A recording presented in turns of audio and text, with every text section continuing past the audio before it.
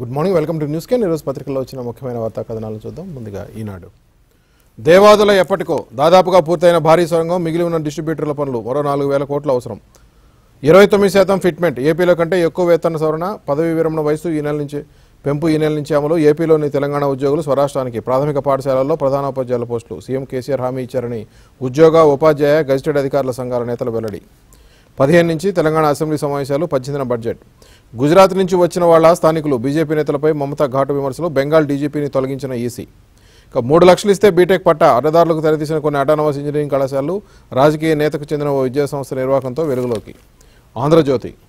ఇరవై తొమ్మిది శాతం ఉద్యోగ ఉపాధ్యాయులకు ఫిట్మెంట్. ఏప్రిల్ ఒకటో తేదీ నుంచి అమలు ఏపీ కన్నా ఎక్కువ ఇస్తామని సీఎం సంకేతాలు.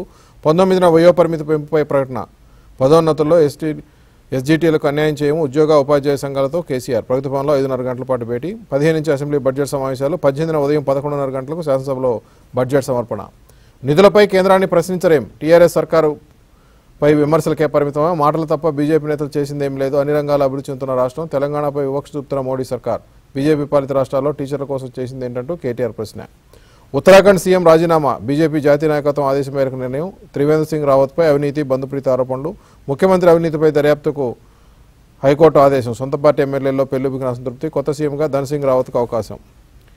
నిర్జన ఔషధి కేంద్రాలు మూత దిశగా సగం జనరిక్ షాపులు మందులని లేకపోవడమే కారణం. ఆ షాపులు అక్కడక్కడ అవగాహన అంతంతే జనరిక్ మందులపై జనంలో అపోహలు ఎన్నో వ్యవసాయ విద్యుత్తుకు లెక్క పంపు సెట్లకు విద్యుత్ అందించే ట్రాన్స్ఫార్మర్లకు మీటర్లు రాష్ట్రమంతా బిగించాలని విద్యుత్ సంస్థల నిర్ణయం.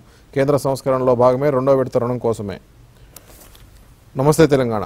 పదవీ విరమణ వయసు మూడేళ్ళు పెంపు ఇరవై తొమ్మిది శాతం ఫిట్మెంట్. రిటైర్మెంట్ వయసు పెంపు నెలాఖరు నుంచే ప్రభుత్వ ఉద్యోగులతో పాటు టీచర్లకు వర్తింపు.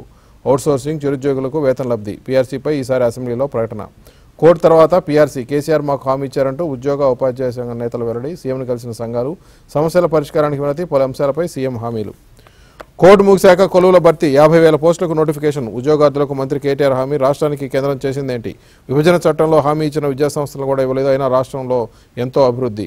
ప్రైవేటు కాలేజీల పాఠశాలల యాజమాన్యాలు సిబ్బంది సంక్షేమ సంఘం ప్రతినిధుల భేటీలో కేటీఆర్ వ్యాఖ్యలు. నవ తెలంగాణ. సొమ్ము స్వాహా ప్రభుత్వ రంగ బ్యాంకుల్ని ముంచేస్తున్న మోడీ సర్కార్ తొమ్మిది నెలల్లో లక్షా పదిహేను వేల కోట్ల రద్దు. పార్లమెంట్లో కేంద్రం వెల్లడి మొండి బకాయిల రుణాల రద్దుతో గుదిబండన్న ఆర్బీఐ అంతా ప్రైవేట్ చేస్తామంటున్న బీజేపీ ప్రభుత్వం. ఆరని చమురుమంట రెండో రోజు దద్దరిల్లిన పార్లమెంట్ నిత్యావసరాల ధరల పెరుగుదలపై ప్రతిపక్షాలు నిలదేదా ఉభయ సభల్లో వాయిదాల పర్వం. చట్టసభల్లో వామపక్షాల అవసరం ఎమ్మెల్సీ ఎన్నికల ప్రచారంలో తమ్మినేని వీరభద్రం వ్యాఖ్య. మన తెలంగాణ. టీమిండియా స్ఫూర్తి ఏది? సబ్కా సాత్ సబ్కా వికాస్ ఇదేనా?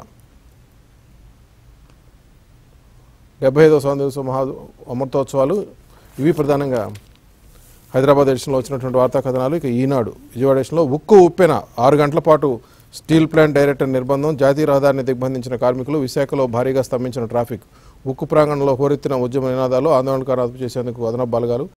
పై కేంద్రం వైఖరి ఇదే. కేంద్ర సహాయ మంత్రి అనురాగ్ ఠాకూర్ వెల్లడి అఖిలపక్షంతో వస్తా మోడీజీ సమయం ఇవ్వండి. మోడీజీ సమయం ఇవ్వండి. కార్మిక నాయకులను తీసుకొస్తా అండగా నిలిస్తే విశాఖ ఉక్కును నిలబెట్టొచ్చు సంస్థను మళ్ళీ లాభాల్లోకి తీసుకురావచ్చు. ప్రధాని మోడీకి ముఖ్యమంత్రి జగన్ లేక. జగన్ రాజీనామా చేయాలి విశాఖ ఉక్కు ప్రైవేటీకరణ అడ్డుకోవడంలో ప్రభుత్వ వైఫల్యానికి నైతిక బాధ్యత వహించాలి టీడీపీ నేత చంద్రబాబు డిమాండ్.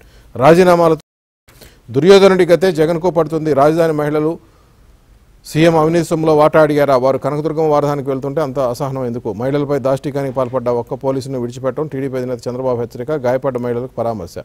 ఇక డయాఫ్రమ్ బాల్ వరదార్పణం రెండు వందల మీటర్ల పొడవున కొట్టుకుపోయిన గోడ ఇది పోలవరంలో కీలక నిర్మాణం పూర్తిస్థాయిలో పరిశీలించాల్సి ఉంటుందని అధికారులు. ఇక పదండి ఓటేద్దాం. నేడే పురసంబరం ఉదయం ఏడు నుంచి పోలింగ్ బ్యాలెట్ పత్రాలతో జాగ్రత్తలు తప్పనిసరి.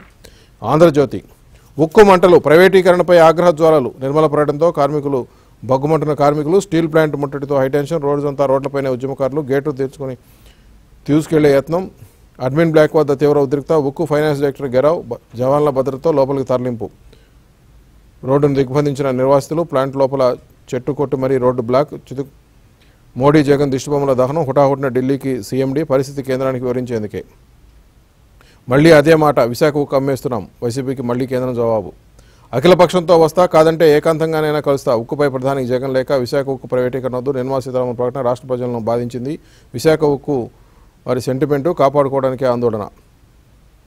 ఇక దొంగ లేఖలు ఆపండి రాజీనామా చేసి ప్రజలకు క్షమాపణ చెప్పండి. ఉక్కు ఉద్యమకారులతో కలిసి నడవండి. ప్రధానికి లేఖలు కాదు ఫోన్ చేయాలి. ముఖ్యమంత్రి జగన్పై చంద్రబాబు ధ్వజం. వైసీపీ ఎంపీలు తక్షణమే రాజీనామా చేయాలి. ఆ సీట్లలో టీడీపీ పోటీ చేయదంటూ అచ్చెన్నాయుడు వ్యాఖ్య. రాజీనామాలతో ఉపయోగం ఏంటి? ఉక్కు ప్రైవేటీకరణ ఆగుతుందా? అలాగైతే మేము అందుకు సిద్ధమైనట్టున్నాం మంత్రులు. ఇక అమిత్ షాతో ఏం మాట్లాడారో నిజం చెప్పండి. అబద్ధం చెప్పినందుకు సంజాయిష్ ఇవ్వండి. సీఎం జగన్పై ఎంపీ రఘురామకృష్ణరాజు ఆగ్రహం. నేడే పొరపోరు పన్నెండు కార్పొరేషన్లో డెబ్బై మున్సిపాలిటీ ఎన్నికలు ఉదయం ఏడు గంటల నుంచి ప్రారంభమైన పోలింగ్.